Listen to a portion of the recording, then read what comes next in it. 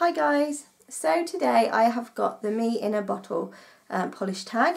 It's taken me a little while to do this one. Um, I automatically think of purple when I think of Me in a Bottle, but I couldn't think of what other colours to use. So after watching a few videos I got a bit of inspiration. So I have got some others as well as purple to show you and I've also got two that aren't Me in a Bottle. So the first polish I've got is by Pretty Serious and it's called an Uzi from Daddy. It's a purple glitter with bigger blue glitters in it, which is that one there. Um, now, when I built this, I straight away said if I was a nail polish, it would be this one. It's purple's my favourite and blue's my second favourite, so it combines both of those and it's glittery, which again I love. Um, well, it's sort of like a glitter shimmer actually. Um, so yeah, so that's pretty serious, an Uzi from Daddy. Now the second polish I've got to show you is um, by Emily de Molly and it's called Ava. This is my first Emily de Molly polish. Um, it's a purple base with a blue shimmer for it. It looks a lot brighter in real life than it does on the camera. Um, but these two, out of all of them, are the ones that are most me in a bottle. So that one was Ava by Emily de Molly. Now the third one I've got to show you is a Model's Own polish and it's called Pukka Purple. Um, this could actually be a one coater. It may be that I've had it quite a while and that's why it is now. But it's quite it's a quite a thick formula actually. Um, but it's fine to work with. And it's just like a bright purple, which is sort of like the perfect purple colour for me. Um, and it's just a cream. I actually wore this one on my wedding day, so this is definitely, definitely describes me in a bottle. So that was Pukka Purple by Model's Own. Also from Model's Own, I've got Purple Haze, which is a purple glitter. Now, this one, the longer you wear the money, um, the purple tends to rub off and it ends up with silver glitter, which is a bit weird. But I love glitter anyway, so that's fine. Um, but because this one's purple, it's just even better. So that one was Purple Haze by Model's Own.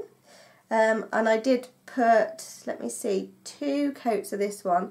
I did put it on top of um, of the Pukka Purple just to show you, but you could probably get away with wearing it on its own, that one. Um, the next one isn't a purple, but it is a blue. and it's a blue shimmer called Super Powered. It's from the Revlon Spider-Man collection. I've got three polishes out of this collection, and I would like more um, but I haven't found them yet. So I did three coats of this one. It was quite streaky actually, but I love shimmers and I love blues. So again, this is sort of the blue I would go for if I was looking for one to wear. Um, now, one of the colours that I've got that isn't me is a red. I, I just don't like red on my nails. I don't think it suits me.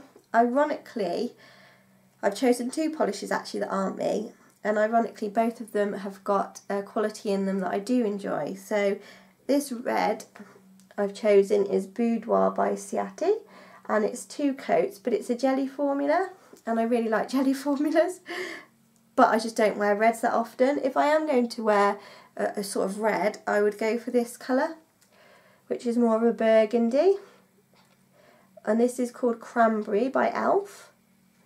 Um, that one's got a bit of shimmer in it too actually.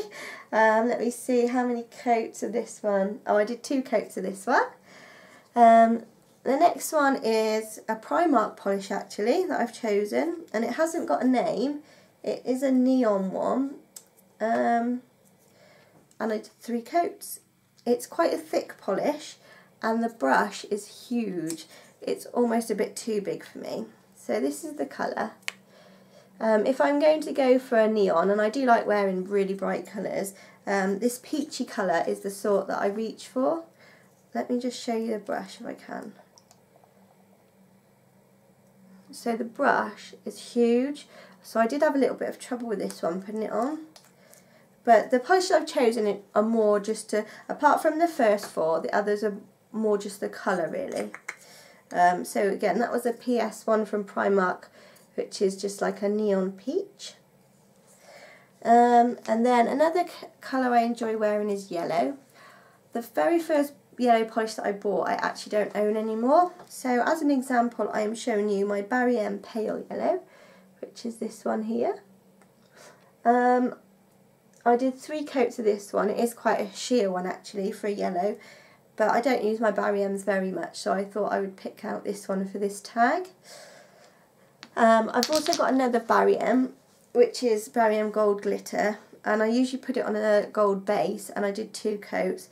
This is one of my absolute favourite polishes ever. As you can see, I'm halfway through the bottle.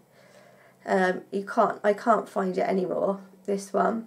But I've got other gold glitters, so it's just that this was one of the first ones I bought. Um, so yeah, so I do really like this one.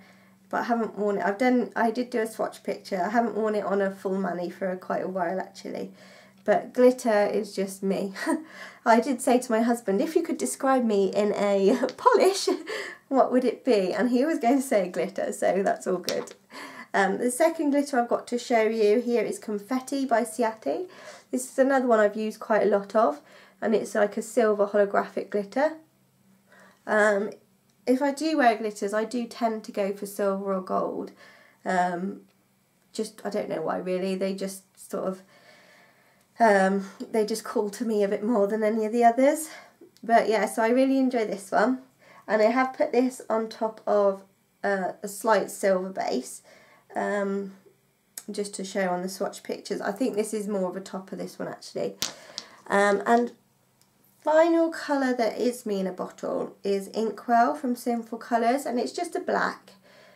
I think the emo kid in me still, you know, it's still in there somewhere. I really like wearing dark polishes.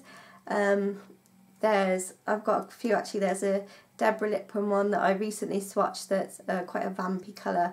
Um, you guys might not see that video till after this one actually.